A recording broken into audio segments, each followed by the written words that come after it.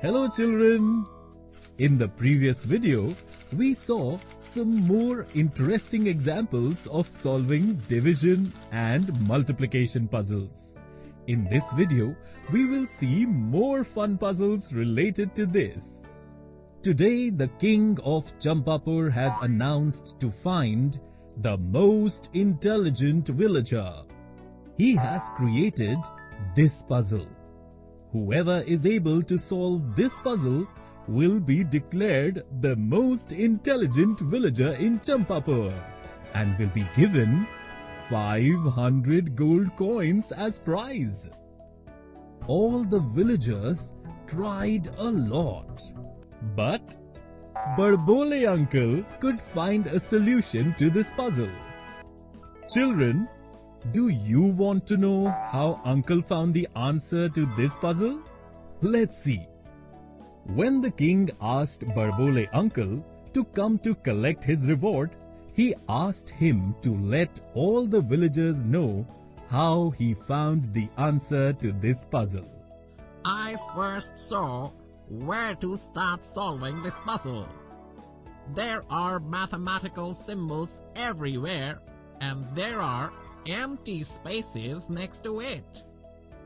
There is only one place where the numbers on both sides of the multiplication are written.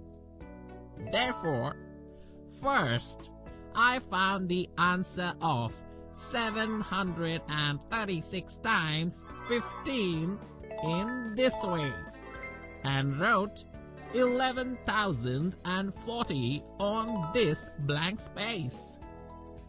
Then I notice that as soon as this blank is filled, I have to find the next number, which when multiplied by 12 gives the answer 11,040. And as we know, we can write any multiplication as a division. So, I divided 11,040 by 12 to fill this blank. And then wrote the answer of the division 920 in this blank. Now it is very easy. All I had to find was the number which when multiplied by 40 gives the answer 920.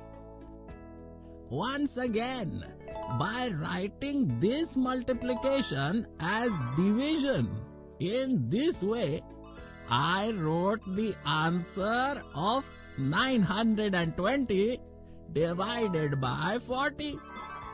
23 in this blank space.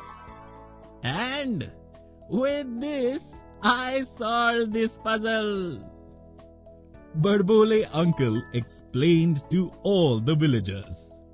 Impressed by uncle's intelligence, all the villagers started clapping loudly. The king declared uncle as the most intelligent villager in Champapur and gave him 500 gold coins as reward. Children, in this video, we learned to solve even more fun puzzles of division and multiplication.